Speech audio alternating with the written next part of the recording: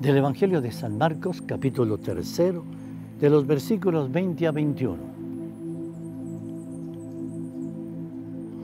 En aquel tiempo, Jesús entra a casa y la multitud se reúne de nuevo, de tal manera que ellos no podían ni siquiera comer.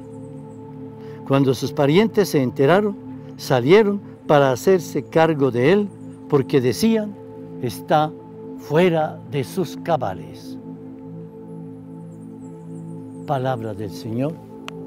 Gloria a ti, Señor Jesús. Evangelizar no es fácil. No creas que es un camino entre flores.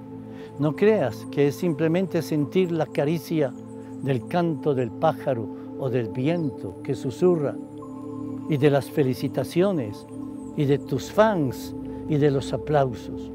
El Evangelio de hoy tan pequeño, pero mira la enseñanza que tiene.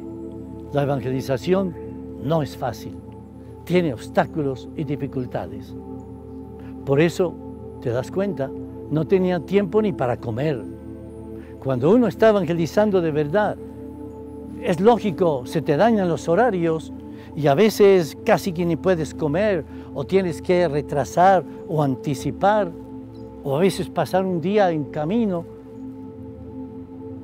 pero también te pueden tratar como a Jesús, que lo creyeron fuera de sus cabales. Es cuando dicen precisamente, mi hermano entró a un grupo y se entregó al rezo, algo pasa, y empiezan a mirar lo raro, o a la mamá porque va a la misa, y así entonces empiezan las dificultades.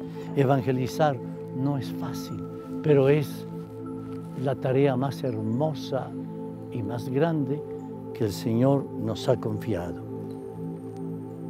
Que trates de ser siempre fiel en la obra evangelizadora donde tú estás, donde tú vivas y ojalá más allá.